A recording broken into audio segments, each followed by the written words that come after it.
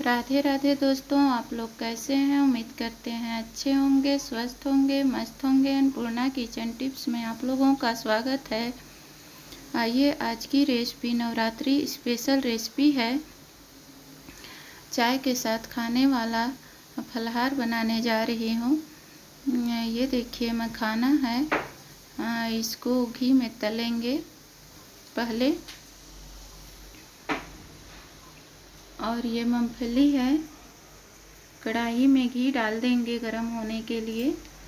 पहले मखाने को तलेंगे, तब कुरकुरा अच्छा होगा। मखाने में जितना भी घी डालेंगे, सोख जाता है। बहुत ही अच्छा कुरकुरा होता है। अच्छे से ज़्यादा घी डाल के यदि तलेंगे तो बहुत ही टेस्टी लगता है। ऐसे तो थोड़ा ही घी में भी भुना जाएगा। तो देखिए, इस तरह से नमक डाल के इसको तल लेंगे। मूँगफली के साथ इसको भुनेंगे तो नहीं भुनाएगा। अच्छे से मूँगफली कच्चा ही रह जाएगा। इसके बाद हम मूँगफली तलेंगे।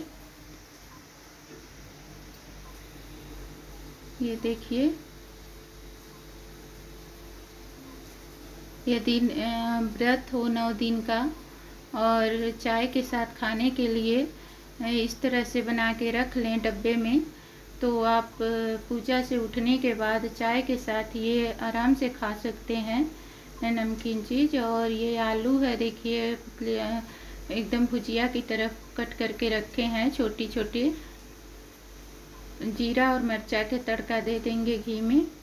पहले मूँगफली दो मिनट तक तल लेंगे, अच्छे से अंदर तक भून जाए, कुरकुरा हो जाए।